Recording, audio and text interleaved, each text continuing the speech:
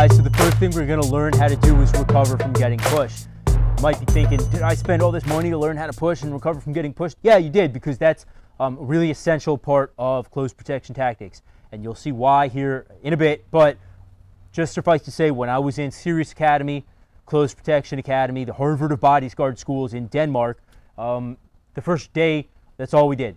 We literally, the, the first day, we only learned um, pushing, getting pushed, and then what we're going to focus on next, which is stepping in front of your client. So it's really that important, um, and then everything is going to build off of this. So when it comes to getting pushed, basically the concept is, Jen, you're going to stand in front of me here, uh, facing me, and then pull, you're going to just push me real quick. Okay, so notice there, I'm blading off. Why am I blading off? Well, it should be apparent, but if it's not, push me again. I've got a firearm or something on here on this side. Maybe it's a knife, maybe it's a firearm. So push me again. I'm blading off and I'm coming back and I'm getting into kind of an orthodox boxing stance, right? So again, you push and I come off and I blade off because I don't want her to get this weapon that I have on my side. Whether it's concealed or not, it doesn't matter because if you run into somebody like me, they might try to freaking test you and probe you and go for that firearm even if they don't know that you have it. And again, if you have a tactical folder in your pocket, like a lot of bros do, if someone like me sees that, and I don't have one myself, or even if I do, one of the first things I'm going to be thinking about is going for your knife because I want to take it out of the equation. Whether or not I cut you and stick you with it, it's, you know, to be seen. It depends on the situation. But I know if I want to get physical with you, I don't want that thing coming out and getting physical with me. So what I'm going to do is try to get to it as quickly as possible and maintain positive control over it. Thusly, we are blading ourselves off when we get pushed, just like this. Now, the question has been raised when I've taught this before, well, like, aren't you a little bit unstable now because now you are showing them your side? Well, perhaps, but push me. And then she's going to try to rush into me and move into me, right? So I can throw my elbow out here, and then I can get this in the mix. I can get this at play, right? And this is that classic close quarter battle stuff you'll see um, with cool guys on YouTube and they're advertising their CCW courses or whatever, right? It's like this, and they bring it out and they've got this going and they go boom, boom, boom into like a target that's like two feet away. I mean, yeah, there's validity of training like that, absolutely, and this is why.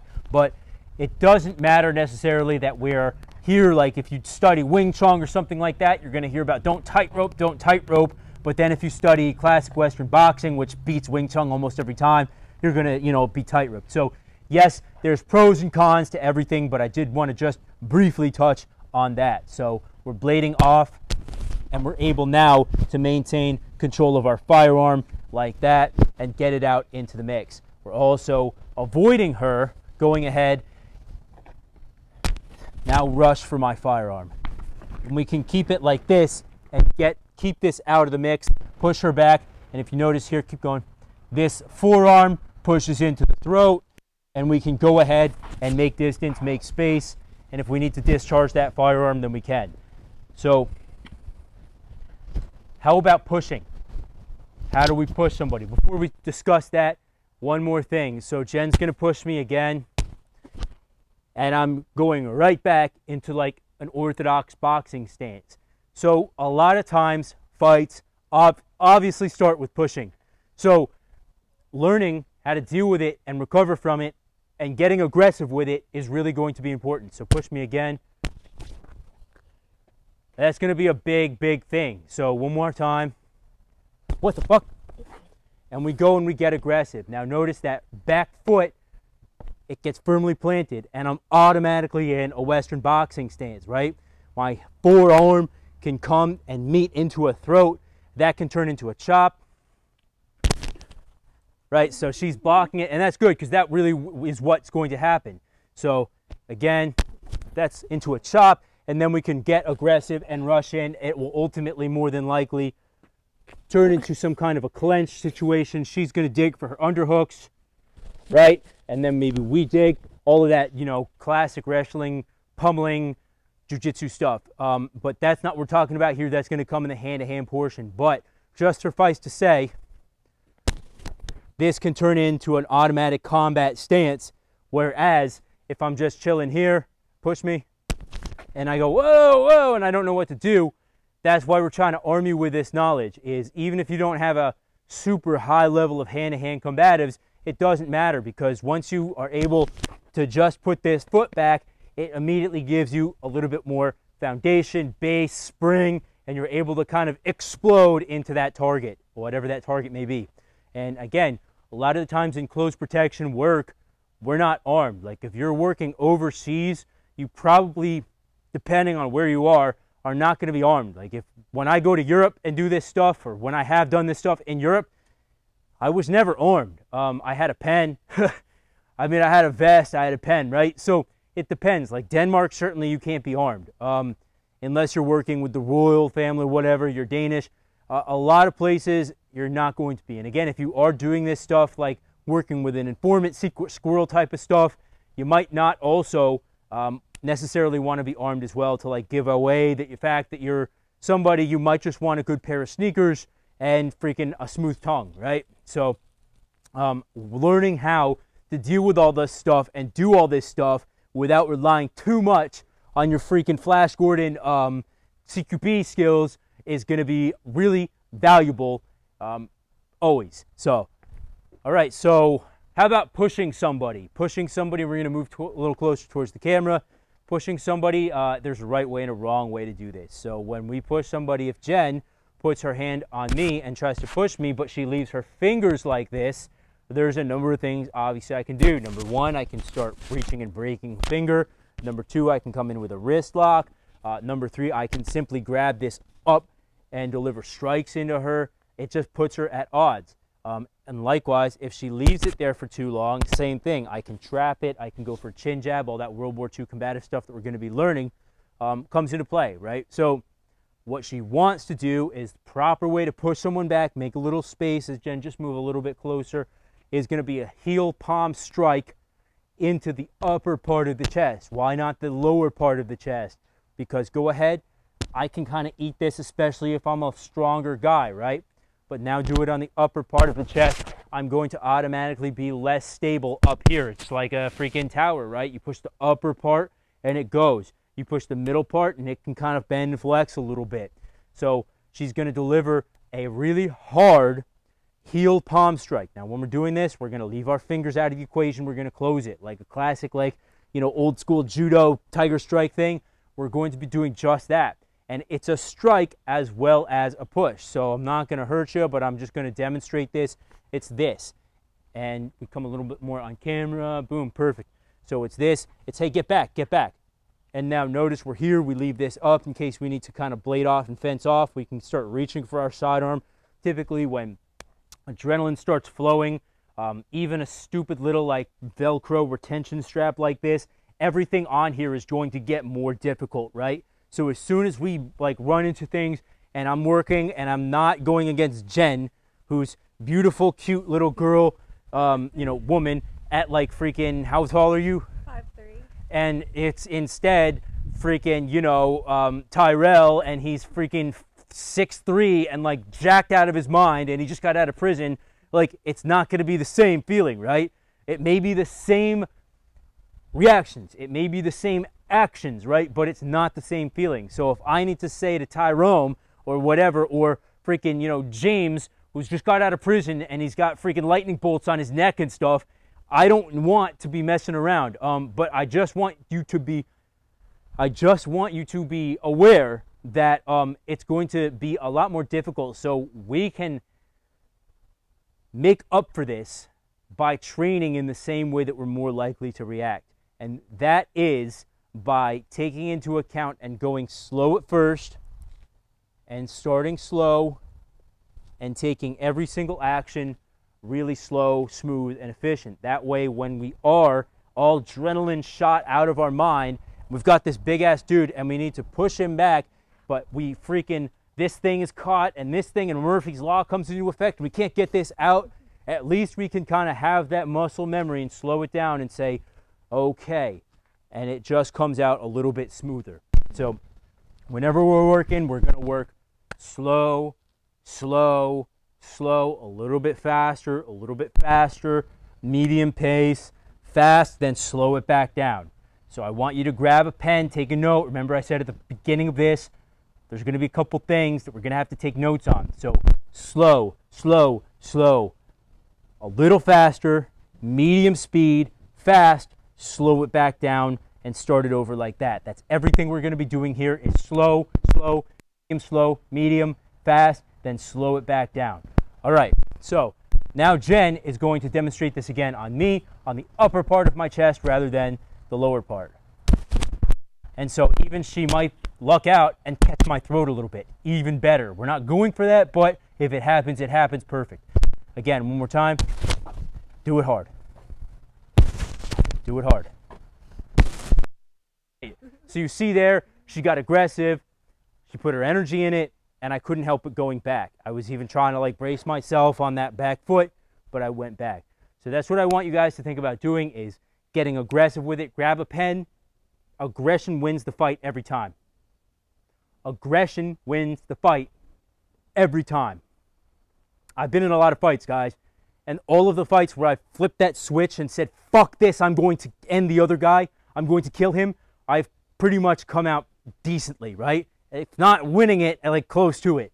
Um, if you can imagine what that means. So I really want you to be thinking every time you're drilling this stuff, it can be tempting, yes, to like go through the motion, like I'm tired anyway, I'm thinking about this other thing, but I really want you to like put your concentration in it when you're doing this. And again, doesn't matter if you don't have a partner to work with. I want you to be thinking about doing this on a wall.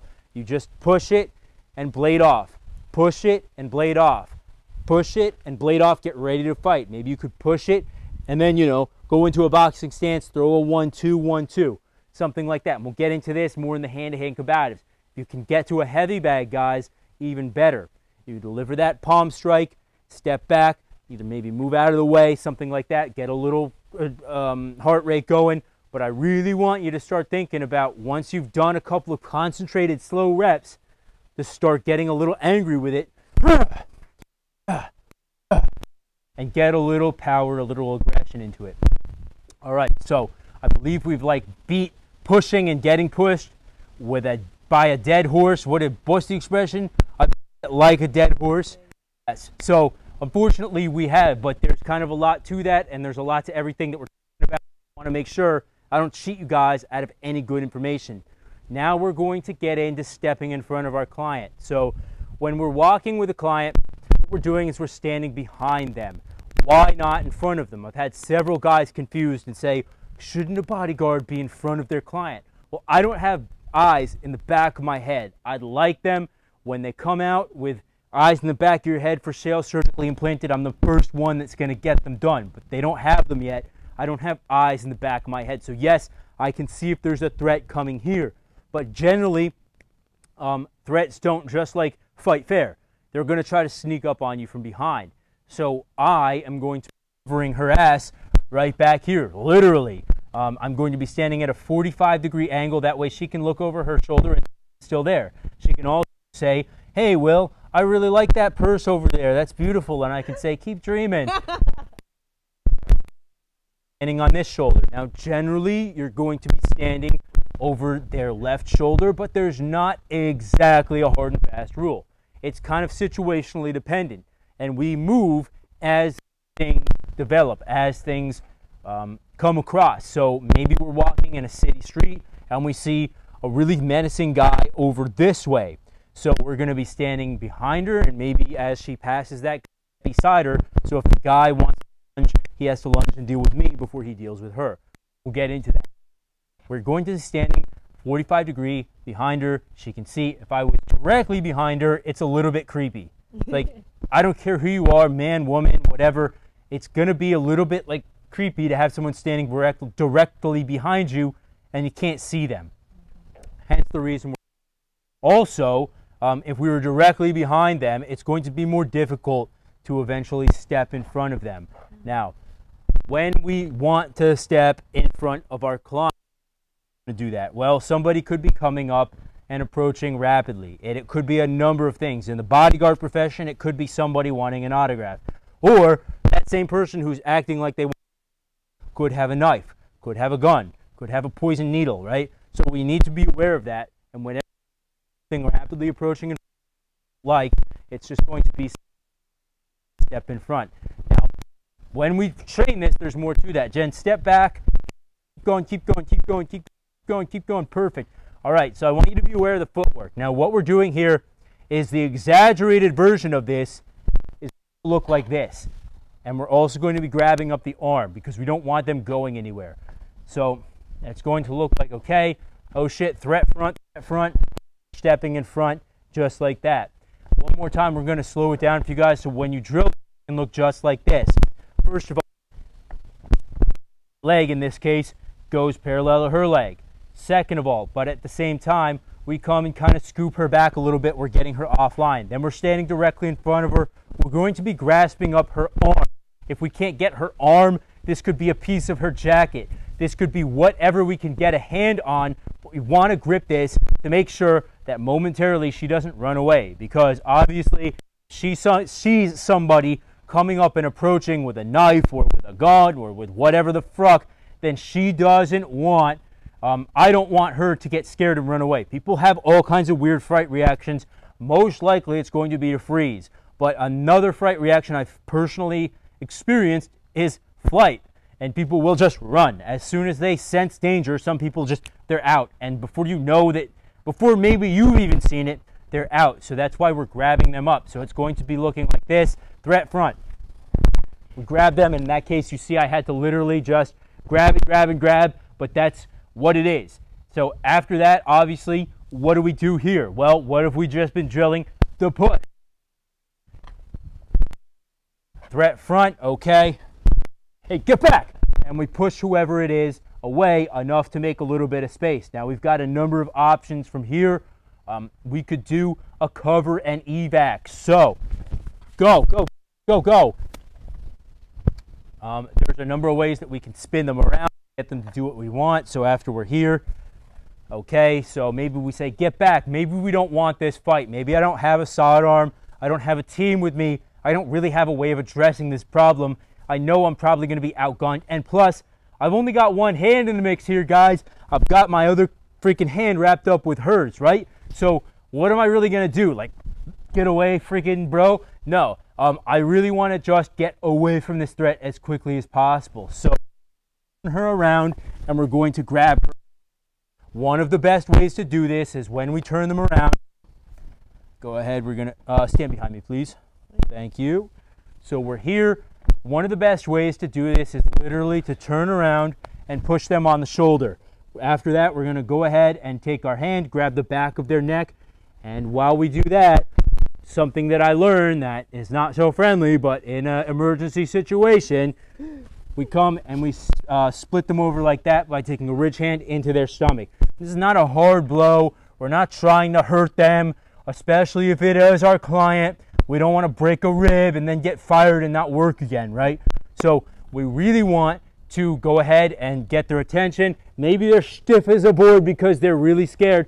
Okay, now they're going, go, go, go, go, go. And we maintain that human shield effect over the back of them.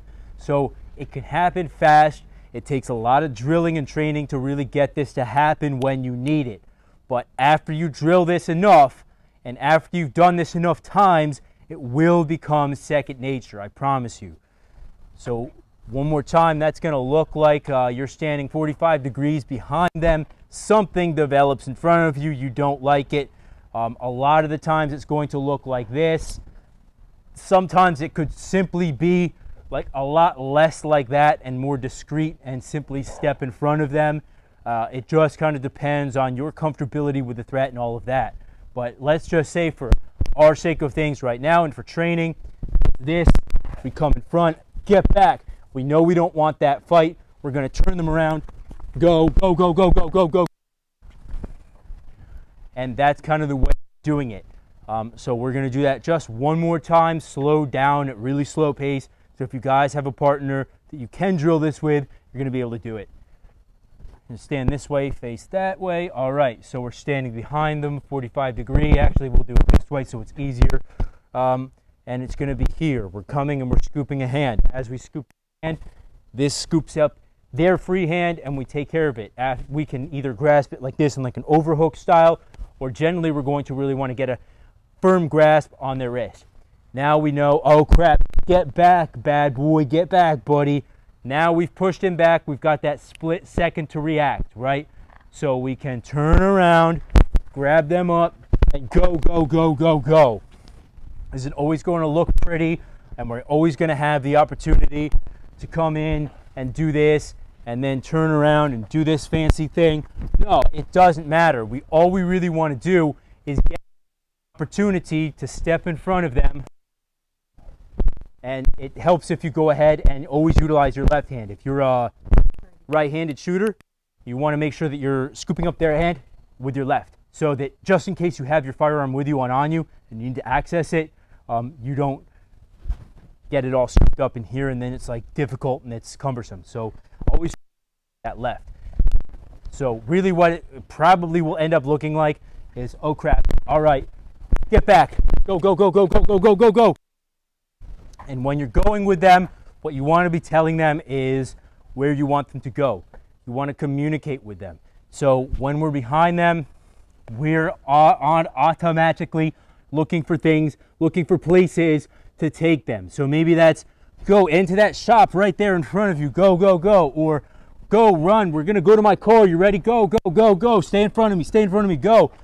All right. So we want to be giving them instructions whenever we possibly can. So that's kind of the basics there about moving a principal, a client, whatever it is um, that you're dealing with. You want to kind of be able to move them and move them in the right way and um, get them going. So one more thing that we're going to do here is just about that chop and moving them out. So maybe you are standing in front of them for whatever reason. Um, getting them kind of like doubled over is kind of half the battle. So, and then we can go and go, go, go. When I'm coming and um, really trying to get her kind of doubled over, I'm not doing it to be a dick. I'm not doing it to like manhandle and feel like a man, right? No, no. But I'm getting it. Um, the effect is what I excuse me, the effect that I want is to get their mind off of what's going on. So some serious shit is happening, right? They're going to be like, oh my God, what's happening? The next thing they know is, oh, I don't know what, and then you go. You're breaking their concentration and you're literally like limbering them up so that they're going to be pliable enough for you to work with and move them because you can't move like a stiff body that doesn't want to be moved. You're going to be stuck there on that X and then you're both going to get killed. But if you can take their mind off it and move them real quick, it's going to be a lot better for everyone involved. So don't freaking, again, I said this already, don't go ahead and try to get their ribs. Don't chop them in the throat. don't punch them in the face. I've even heard that before from like a high level guy. He's like, I would just punch them in the face, get them to move. No, bro, this is not lifeguard training. This is like not what we're doing here. You punch a freaking billionaire in the face and see if you still have a job in the morning. I guarantee you you won't. But if you do hit them just there in the in the stomach area, um, you'll soften them up and get them to move out a lot quicker and a lot more pliably. So those are just a few quick, quick like tips for me to you, kind of the more meat and potatoes of this executive protection stuff. There's so much to this, guys. Look on my YouTube channel. I've Got great old school tutorials from when I was fresh out of these bodyguard schools. I really went into depth with like how to take them out of a vehicle, how to put them into a vehicle, work with a team. Like I've got a whole series of executive protection 101 stuff on my YouTube channel, totally free. Uh, go ahead and check those out. But I do want to put these in this program because it really is essential to know if we're going to be protecting anybody, how to do it in the right way. All right, guys, so let's jump in. We're going to do a little bit of talking about counter surveillance now and how to do it the right way, not necessarily simply counter surveillance, but surveillance, detection, and anti surveillance. And we'll jump in and discuss what the meanings of each of those are in the next portion here. All right, guys, I'll see you in the next portion. Thanks.